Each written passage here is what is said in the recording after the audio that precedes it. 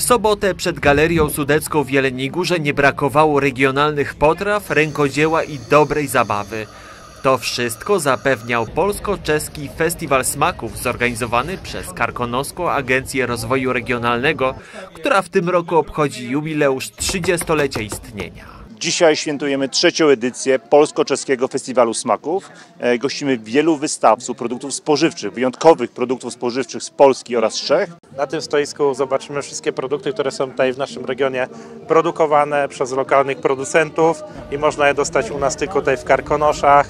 E, Od ryb po aronie, miody, e, wszystkie fajne, fajne rękodzieła, które tutaj mają swoją historię powstawania i są dostępne tutaj u nas. Mamy tutaj do zaoferowania pyszne sery własnoręcznie robione, robimy tradycyjnymi metodami. Masło ubijamy w kierzance jodłowej, także wszystko naprawdę wkładamy do tego serce.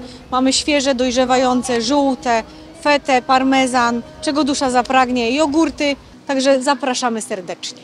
Na naszym stoisku mogą Państwo zakupić regionalne miody oraz rośliny produkowane tutaj, nieopodal galerii, około 1,5 km stąd. Dzięki takim imprezom mamy możliwość wyjścia z naszymi produktami i naszymi markami do szerszej grupy odbiorców i promocji naszych działań i produktów. Na moim stoisku można kupić tak, przede wszystkim lawendę oczywiście, bukiety, świeże bukiety, e, woreczki zapachowe.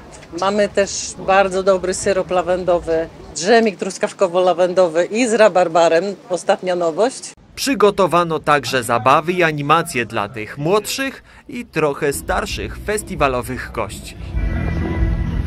Zajmuję się tutaj właśnie e, przy stanowisku e, naszym karowskim, tutaj właśnie zabawami z dziećmi.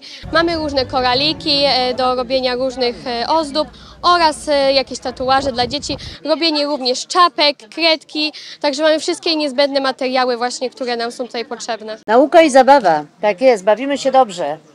Także Kar jest zawsze dobrym organizatorem. Jak coś robi, to zawsze jest okej. Festiwal Smaków to także pokazy i warsztaty, które zakończone były bezpłatną degustacją.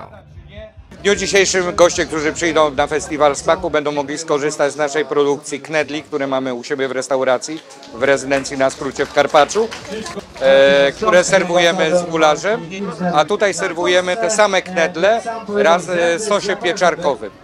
E, następnie będziemy podawali żurek karkonoski, Dużym zainteresowaniem cieszyły się także warsztaty z ważenia piwa czeskiego i polskiego.